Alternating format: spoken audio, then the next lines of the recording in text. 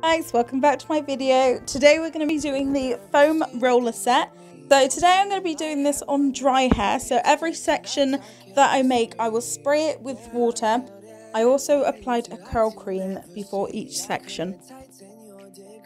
Make sure to brush and comb your ends through so that there is no tangles or any knots.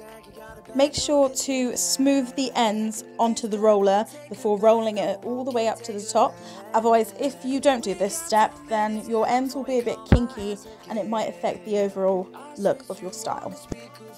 I really enjoyed using these foam rollers because obviously you don't have to worry about a pin to hold them in place and it was just easier because it was all attached in one thing that you could just flip the clip over and then it was just securing your hair and it was perfect. This is a disclaimer for Woodie's video that I will have very funny concentration spaces throughout the video. Please enjoy. So before each section, after I sprayed it with water, I would use the Cantu Curl Activator Cream and I would also use the Define and Shine Custard. Comes the fun part of taking every single roller out, which actually was so much quicker than taking the perm rods out. So when taking the hair off of the roller, you need to make sure to twist it in the way that you twisted it onto the roller to cause the least amount of frizz. Really liked how it came off of the rollers, it looked really good.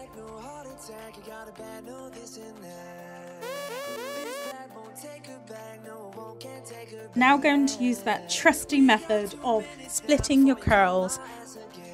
This is the face of, oh no, there's one left. So my hair was still kind of a little bit wet from when I had it on the rods. I don't want to play around with it too much because I don't want to damage the curls. Overall, I am so happy with how my hair turned out.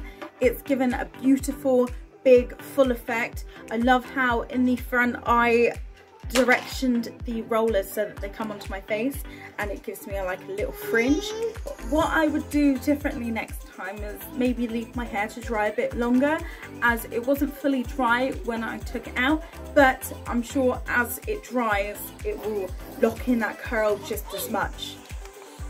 Right, and I shall be back next week. Right, thanks for watching. Don't forget to like and subscribe. You can also follow me on TikTok or Instagram. Right, have a good evening. Bye.